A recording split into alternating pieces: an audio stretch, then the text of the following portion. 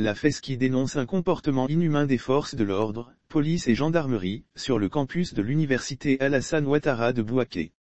Suite à l'irruption des forces de l'ordre, police et gendarmerie, sur le campus de l'université Alassane Ouattara de Bouaké. La FESCI a produit un communiqué dont l'Infodrome a reçu une copie. La Fédération estudiantine et scolaire de Côte d'Ivoire dénonce l'irruption des forces de l'ordre, police et gendarmerie, sur le campus de l'université Alassane Ouattara de Bouaké. Lire aussi sit-in au plateau, des étudiants gazés par la police ce mardi 26 avril 2022, en représailles aux actions de revendication menées par les élèves et étudiants de Bouaké pour exiger de meilleures conditions d'études, une horde de policiers et de gendarmes a fait irruption sur le campus 1 de l'université Alassane Ouattara, UAO, de Bouaké.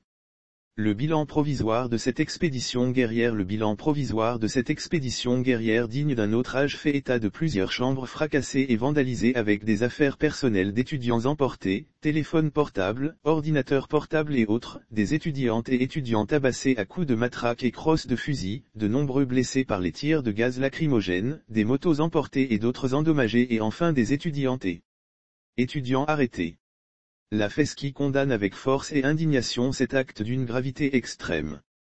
Elle témoigne son soutien total à l'ensemble des élèves et étudiants de Bouaké. La Fédération estudiantine et scolaire de Côte d'Ivoire, FESCI, condamne avec force et indignation cet acte d'une gravité extrême. Elle témoigne son soutien total à l'ensemble des élèves et étudiants de Bouaké, exprime sa profonde compassion aux blessés et exige la libération sans délai des étudiants arrêtés. Lire aussi suspension des activités syndicales, la FESCI rejette la décision du gouvernement par ailleurs, la Fédération estudiantine et scolaire de Côte d'Ivoire, FESCI, exige la mise en place d'une commission spéciale d'enquête pour faire toute la lumière sur cette affaire et situer toutes les responsabilités.